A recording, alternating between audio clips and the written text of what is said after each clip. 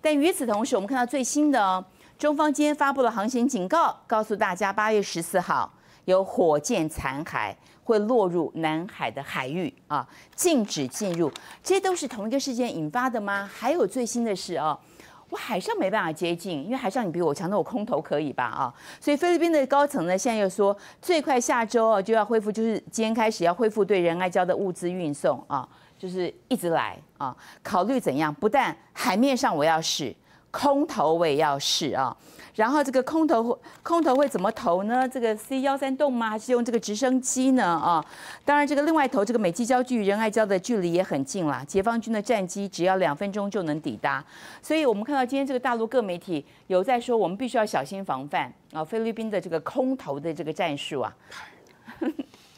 C 幺三栋空口啊，除非这个驾驶员的这个丢炸弹的本事很高，对呀，船就那么宽，你就丢到海里去了。对，他最可能就用直升机掉了，直升机，直升机掉下去。对，这个问题啊，船只是一个药引子了。对。就摆姿势了。哎，我先打断一下，因为 C 幺三洞，我今天看到陆梅在讲嘛，C 幺三洞因为高度比较高，它确实不太可能，那小小一艘船，对啊，不太可能丢丢不准嘛。所以它可能丢了一大堆，但你知道这会不会造成一个骚扰效果啊？就是大陆海警船，因为它丢的可能是建材啊，那他们已经讲了，海警船，我们中方的海警船要全部捞起来，不能让所有的建材、任何一袋水泥都不可以捞到菲方的手中。但这会不会是一个成功的骚扰战术呢？他这个，我跟你讲，这个。这个事情根本就不是一个，不会引起中国跟菲律宾的打仗，也不会引起中国跟美国的船打仗，这就是摆赖了。他这个菲律宾摆这个烂摊子，就是就在那里戳嘛，戳你。这个这不是重要的事，我觉得重要的是是王毅这一次访问，嗯，他这访问呢，去关心，因为原来东盟快要达成南海协议了，嗯，现在美国挖两个角，一个是挖菲律宾。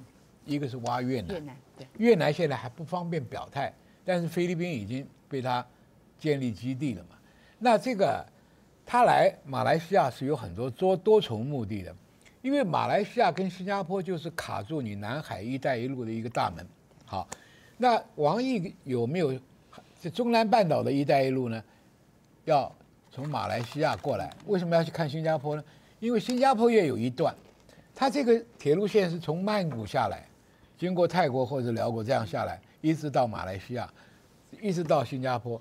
新加坡还有一段摆不平，是新加坡好像是跟日本的这个高铁在在眉来眼去的了。那就所以王毅来的目的，最大的目的是这个东海协呃这南海协议行动不容许破坏。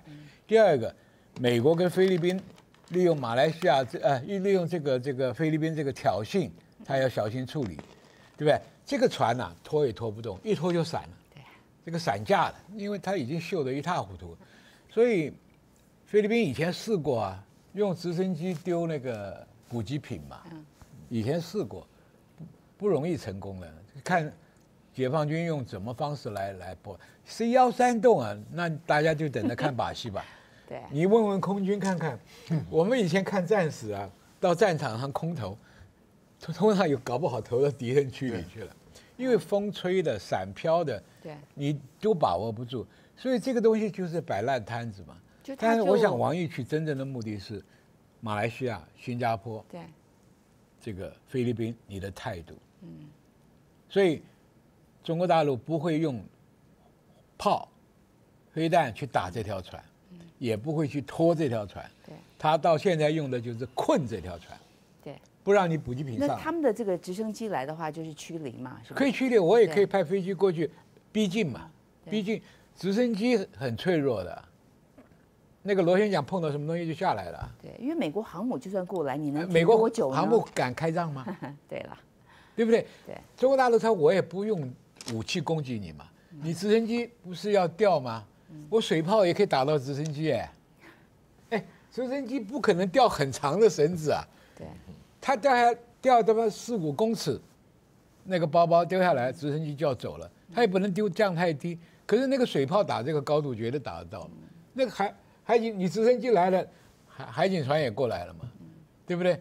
那直升机被水喷到也会下去的。对，所以 C C L 山洞根本就不要担心，它丢不准的啦。对不对？搞不好还把那个船甲板砸个洞了，那个那个甲板已经锈得一塌糊涂了。所以这一切就应该怎么讲，算是一个演出戏码嘛？就就是戏码，就是你出一招，我出一招，就是斗而不破，对，斗而就不会跟所以老公怎么好意思用用飞弹、啊用大炮去轰这个烂船呢？对啊，也也不好意思打那个日本送来那个艇呢。对，但三不五海上啊。啊，大船吃小船是很容易，屁股一摆了把你撞撞所以。日本的角色你怎么看？日本的动作一样啊，我中国大陆说，我警告你不要靠近啊，这是我我的我的我的领土范围啊，我的势力范围啊，你要来我就。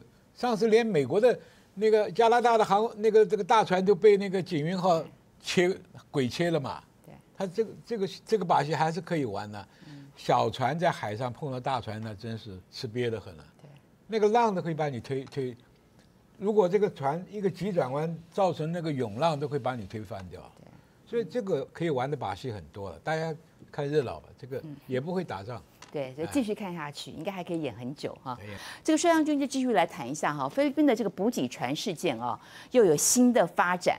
因为在海上呢是吃瘪，因为从空中来看吨位差太多了嘛啊，就根本不是同一个级别的。